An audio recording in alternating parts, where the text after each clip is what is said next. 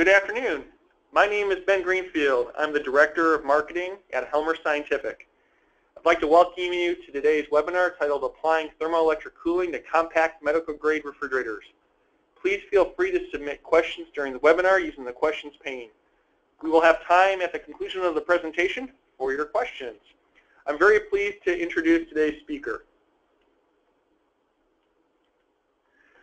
Tom Larkner is the Strategic Products R&D Manager at Helmer Scientific, where he oversees the engineering development of next-generation constant temperature products. He has a Bachelor of Sciences in Electrical Engineering from Purdue University and a Master's of Science in Engineering from the University of Alabama. He's also a licensed professional engineer. Prior to joining Helmer Scientific, Tom has research and development leadership at both Thermo Fisher and Labstrong. Without further delay, I'm pleased to turn the presentation over to Tom. Thank you, Ben. Well, hello, everyone, and welcome. I very much appreciate you taking the time today. And we'll jump right in. So let's talk first some of the objectives for this webinar. First is to discuss a brief overview of thermoelectric history. And then we'll jump in and actually have an example of a basic thermoelectric cooling system. Then we'll discuss some of the historical barriers for thermoelectrics in the world of medical grade refrigeration. And then thermoelectric improvements that support the MLR 102 design. Next, we'll review some select MLR 102 engineering design considerations and discuss some system options and add-ons. Finally, we'll have a question and answer session. First, though, a very brief thermoelectric history. In 1821, physicist Thomas Johann Seebeck found that heat applied to a junction of two different material wires created an electric voltage. This has been termed the Seebeck effect. Now, one of the more common uses today of this effect is a thermocouple, used to measure temperature. So this is specifically what's going on. A junction of two different wires heated will induce a voltage that can be measured.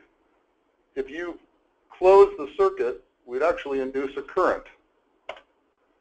Interestingly enough, a cool derivative of this effect is the use in powering space exploration. Radioisotope Seebeck effect generators produce a heat and those power the missions, including Viking, Voyager, Galileo, and Cassini. So there, if you ever wondered why the Voyager is still transmitting information years ago, you can uh, uh, say thank you to Thomas Seebeck.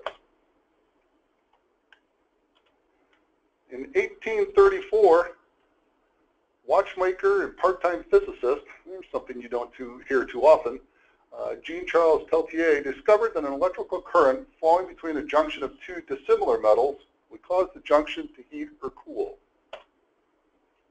Well, between the Seebeck and the Peltier effects here, we refer to both of these as thermoelectric effects.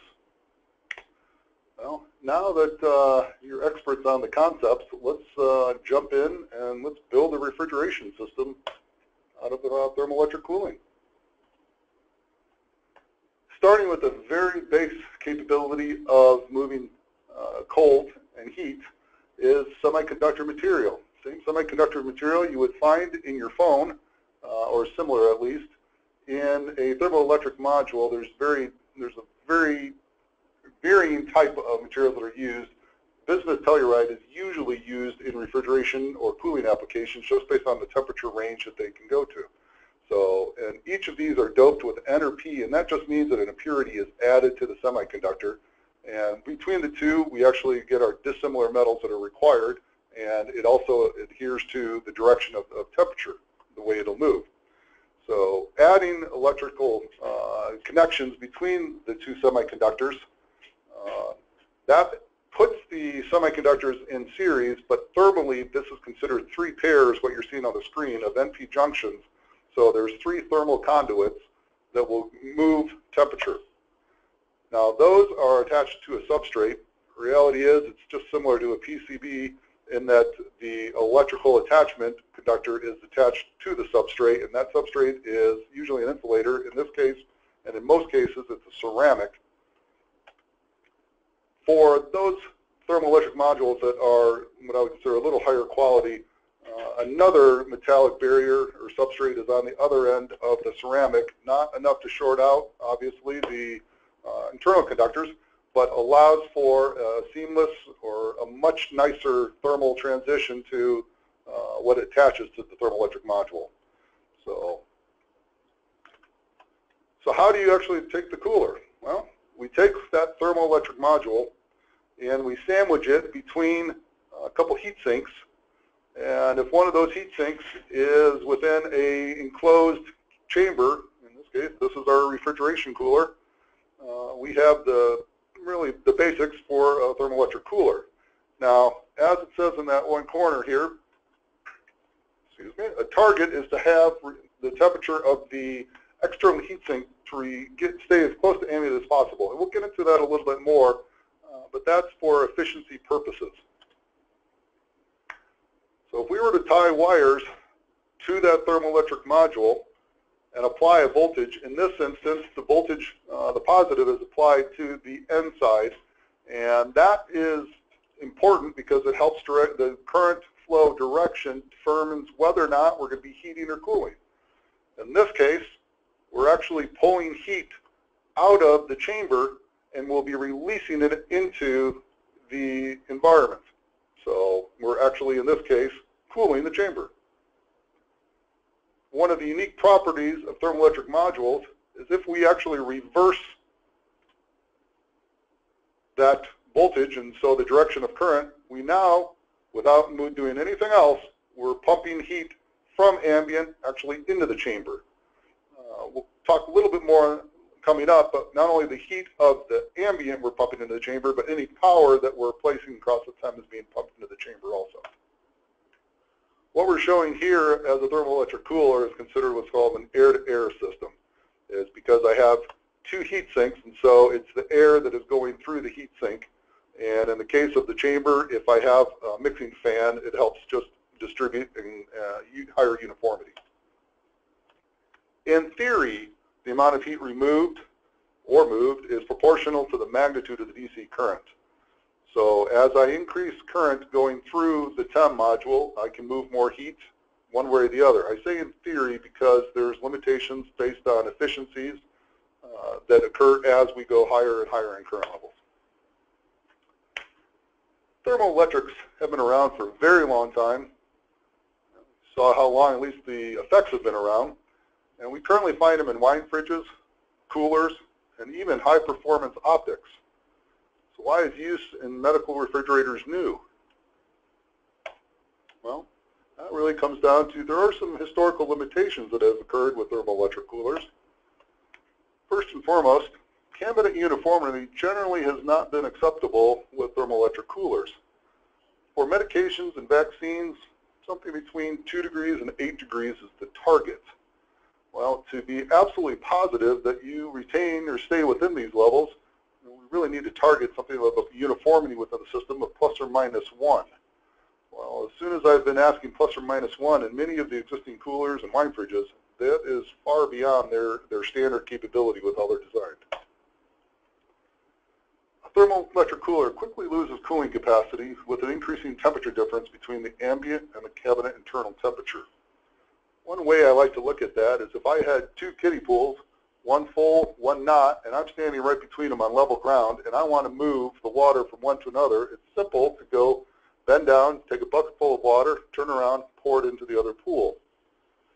If I take that empty pool and I stick it on the first floor or the second floor of my house, and now I have a bucket, I have to climb the stairs and pour it into it.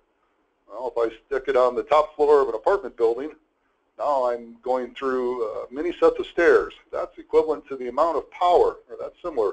So as I change the uh, difference between the outside ambient and the internal temperature, I have to do significantly more work or uh, continually higher work to actually move that temperature. And the more heat that's moved by a thermoelectric module, the less efficient it becomes in general, if I was moving, say, 50 watts out of a cooler, and it's not necessarily that 50 watts is being generated inside of that cabinet, but I could have 50 watts worth of thermal leakage just through the insulation. So if I'm trying to move 50 watts, it could theoretically take me 100 watts of electrical power to move that 50 watts, but the thermoelectric module, as it sees it, we're moving 150 watts off of that thermoelectric module. So the more heat that I have to move, uh, the more power I have to use, overall the less efficient it becomes. And for some of the wine fridges and coolers, some of the control schemes are basically on-off powering of the thermoelectric module. Uh, a lot of that is due because it's, it's a cheap way to control. It does work, but it can actually lead to long-term material fractures of those N and P semiconductors that I, show, that I showed earlier. Uh, in the best case, you'll get a, a, performance degradation over time. In the worst case, you'll get a complete break of that fracture and the uh, cooler will, will fail.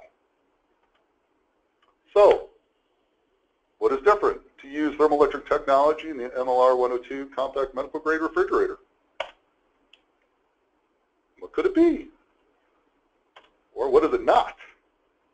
Well, goofy, but it's true. It's not magic, alien technology. The physics has remained the same from today as it was previously. Well, what specifically then is it? Well, it's simple to say, but it's not simple necessarily to implement. It is targeted component and system design, the two of those together, along with very tight process controls. And that gets to what we term the advanced core. Getting down to the component level, the thermoelectric module and the associated what we call heat pump used makes a difference. Thermoelectric module devices designed for a system are specifically designed for the voltage and currents used. What you're seeing on the screen is uh, uh, equivalent to the TEMS that we, we have that are very high performance, high precision, and targeted at the design. We have a very tightly controlled production process. Starts all the way from material selection, actually to the ingot cutting, precision PCB assembly, and solder reflow. Uh, between the materials and the processes used, it ends up with a very, very nice device. What you're seeing now, circled in the middle and the, with uh, the white TEMS, that's fairly indicative of an industry standard TEM module that you would find if you're uh, Googling uh, TEMS. And the blow up is, shows, again, very indicative of the assembly of one of those modules. And you can see the solder balling and the wicking in the, in the actual module. You know, it just shows a lack of really high performance uh, process control on those. So I'd like to show, say that there's a very big difference between the modules used in the MLR 102 and what's normally found in, in the industry. But here's what makes also one of the major differences. Those multiple TEMs are pre-assembled into the advanced core heat pump. That heat pump allows for extreme resistance to both indirect and direct compression damage. Looking back at those industry modules, the white ones above, and thinking of the thermoelectric cooler we saw a moment ago, the two heat sinks a lot of times would be mounted on the top and the bottom of those thermoelectric modules. And it needs a strong positive contact against those modules to move the heat. Well, any compression that's off-center will can damage those modules pretty easy. Think of that picture again where the soldered uh, feet or soldered legs. If we're pushing down on one end of that, we can fatigue that very quickly. Again, best case for uh, some of the industry standards, uh, you get to degraded performance. By virtue of using our heat pump, uh, we have extreme resistance, again, to compression damage. The heat pump itself is sealed against uh, moisture. So when we're trying to drive something really cold, I'd like to say that you know get uh, completely isolated heat pumps and thermal assemblies, but moisture does find its way into things. Well, this prevents it from finding its way into the semiconductor material, so allows for, for long life.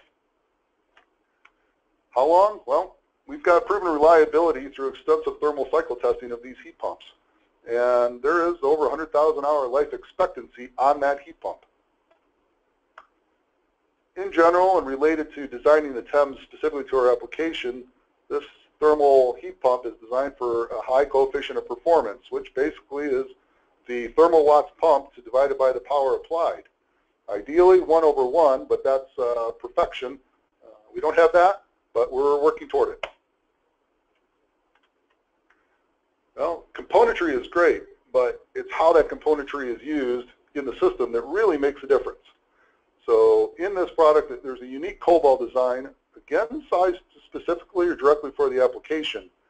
In the GIF in the top left, you can see uh, we actually have a wall in which there are piping with a CO2 internal, and that CO2 will, uh, actually it's, it's cooled to a liquid state, which allows the heat to be flashed against the side and goes back in a vapor state, and so it, it's a continuous circulation. That heat is driven all the way up to the TEM module through the heat pumps, and on the right side, you can see these are actual pictures from the uh, reject heaters from the MLR 102s. And it goes right into a high performance, uh, very nicely designed um, heat reject assembly.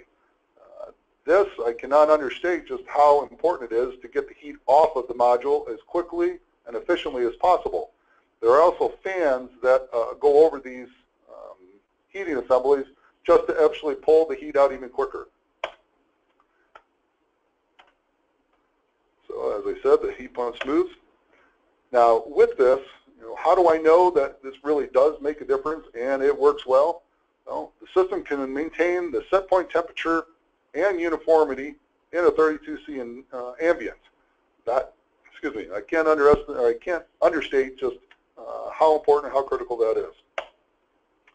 And then also to help maintain that uniformity, we keep a mixing fan in the chamber to make sure a lot of the air moves across the surface of the cold walls uh, continuously. And then there's also the very tight temperature control. I mentioned earlier about on-off control. Uh, these thermoelectrics are driven by variable voltage. And, and that's not something uh, completely novel to that, but there's a cost associated with that to make sure that you're driving this um, you know, very finely.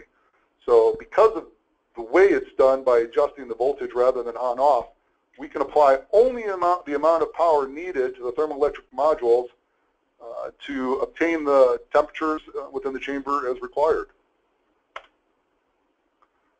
So what were some of the focused engineering design considerations for the medical grade 1 MLR 102? All right, well, small footprint. That's great, but if that footprint, you can't use the internal space, it doesn't do you a lot of good. Uh, in this case, because the cold wall design with the thermoelectrics, uh, that internal space has been maximized within that footprint.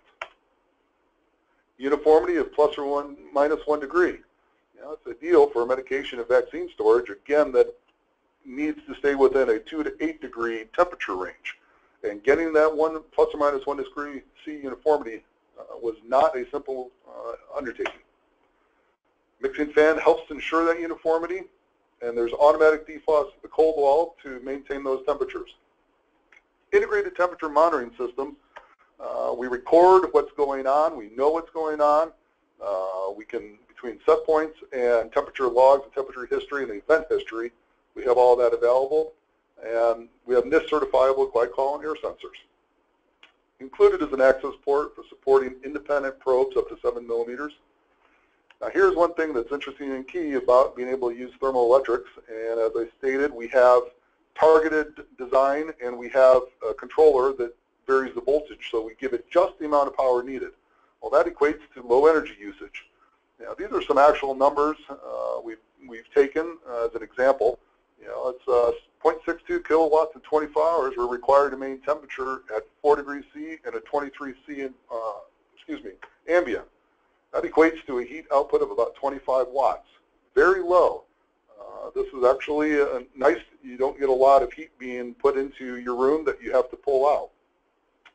So not only is low heat in a patient area bad, but you know, this is a designed for very low noise. As was mentioned earlier, the fans will run just as much as they need to uh, to help pull heat out. So uh, inherently, they'll slow down when the temperature set point is maintained, uh, which corresponds again to a very, very low noise in a patient area. The software. We designed this again with temperature and alarm logging. And this system includes the min and max temperature, so you can see very quickly what the, uh, how far or the ranges above and below, if it got above and below your set point occurred in, uh, since you last reset it. And obviously, it's like we would need, and we did have this UL and CUL certified. Other design considerations, preventive maintenance. Well, there's not a lot with this system going on. There's very little in terms of moving parts. Keep the temperature probe bottle filled. Periodically clean the exhaust fans and fins. The same heat reject uh, assembly we saw earlier, um, if you do not take care of it over time, you can get a lot of dust buildup. Well, this is actually pictures from some excessive testing that was done to purposely uh, try to damage the system and reduce its capability or reduce its ability to maintain uniformity and temperature. So we threw, was, a lot was thrown at it, um, and I'm happy to say that even in the situation you see here, uh, it ran fine. But we prefer, you know, for your own benefit, not to get to this point. So, but a simple vacuum will, will you know, prevent this from occurring. Some other system options and add-ons. Well, we provide integration support for medication management systems. In this instance, the Pyxis lock and Omnicell Flex lock are both available to be uh, installed on the MLR 102. Now, low power allows for the unit to be used with a simple um, uninterruptible power supply battery backup system. You know, given a system in which it was at 4 degrees C internal temp, there was a 24 C ambient, we did some tests. And for an APC BX1200G, this is actually a standard uh, computer backup system that you can go buy at the store. That provided about 2.6 hours of operation uh, upon removal of power. And here's another, an Eaton 5PX 1500 with a single pack, provided 8 hours, and it comes, or allows you to get a second battery pack, had 17 hours of operation.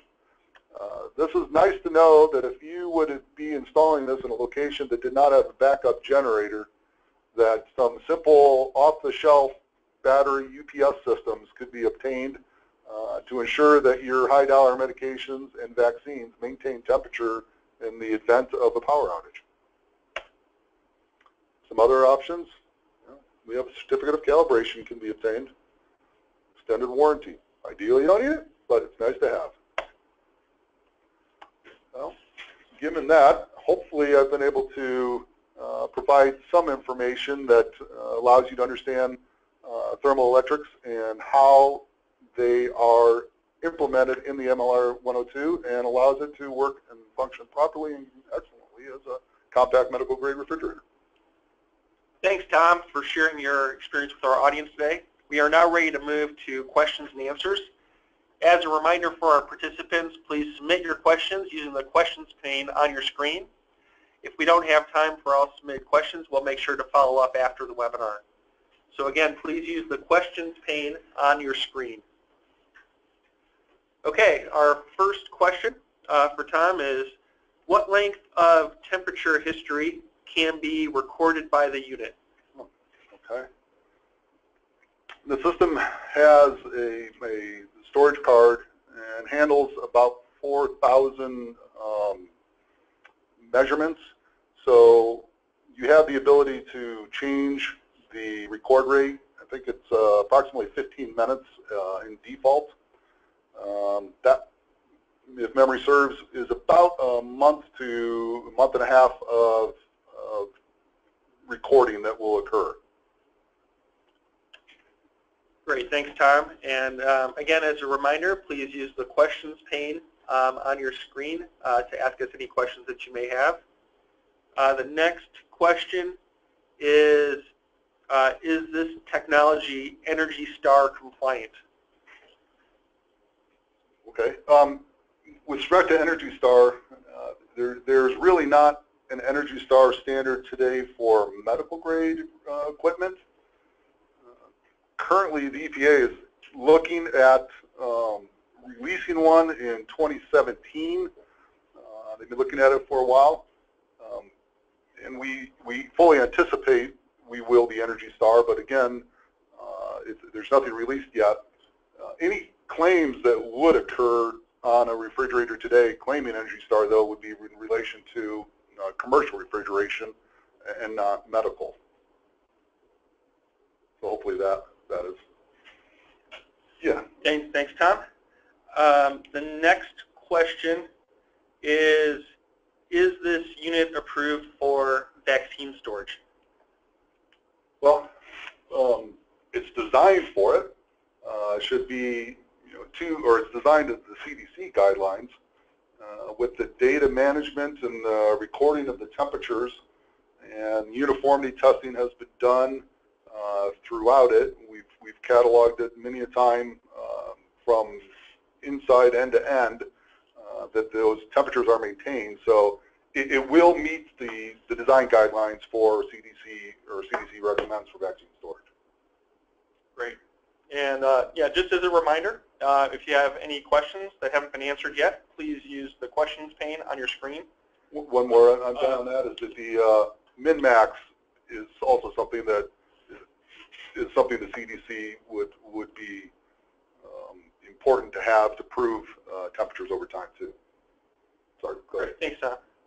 Um, the next question is, what is the expected life of this refrigerator? Well, as is most of the Helmer product, we you know we target when we design things a, a 10-year lifetime. So that's what we target, and that's what we expect. Um, and we've got a, a, great service group too over time if uh, things happen. But we've got product that's been in the field for significantly longer than 10 years. Uh, but that's our that's our timeline here. Great. Next, uh, the next question is, um, is Helmer using this technology on, on their larger units? Okay. Well, we consider actually the thermoelectrics, you know, as we've implemented here, almost an ideal cooling technology for cabinets under two cubic feet. I mean, it is excellent. You know, however, on, on larger units, we're still considering vapor compression, which would, you know, is, is, is compressors, uh, to really be the gold standard for those systems. Um, basically to ensure proper pull-down uniformity, uh, efficiency, especially in, in, really hot areas, and open door recovery. So uh, at this stage, uh, you know, the, the thermoelectrics, again, perfectly ideal, but really we're, we're expecting that from about a two cubic foot and under. So we're not anticipating rolling that into higher, into larger systems at this time. Thanks, Tom. Um, we, we have another question. Uh, we actually have a couple of questions that are around um, serviceability. And sure. the questions um, are asking, is the serviceability or um, the, the maintenance or replacement of components uh, something that can be done at a biomed level, or does it require higher higher level um, service engineers? Now, the, the majority of the systems on this um, if you have a screwdriver, uh, you can you can get to most everything. Um, the like the heat assembly or the the uh, reject assembly that you saw on the back, a uh, couple screws to pull off the back cover. Uh, the fans come off with the back cover. Uh, the, then underneath the re, the reject heat assembly, just a couple screws. Now, I, will caveat the differences. You have to be a little careful. Is um, when I mentioned how it compresses, uh, that if you really were to hammer something down on one end, uh, you wouldn't get a good thermal transfer. So uh, there's good instructions out there, uh, but it, it can be done. It just would take care uh, because you'd also there's some thermal grease that would have to be done if you're replacing a system. But in general, everything on this is there, there should be very little that could go wrong. There's very few moving parts, fans, uh, but otherwise, uh, most most things that would need to be done could be done by a biomed. Great, thanks, Tom. And that does uh, look like our last our last set of questions. Um, so I would like to thank everyone for participating in our webinar this afternoon. Um, please uh, use the email addresses on your screen if you'd like to contact our Helmer Scientific Sales or Technical Services team. If you have any feedback or comments you'd like to share about our webinar, please reach out to me, Ben Greenfield, at bgreenfield at helmerinc.com. Uh, all registrants of this webinar will receive a survey. Uh, we hope to follow up on our event today with additional events um, with topics that are based on your feedback and needs.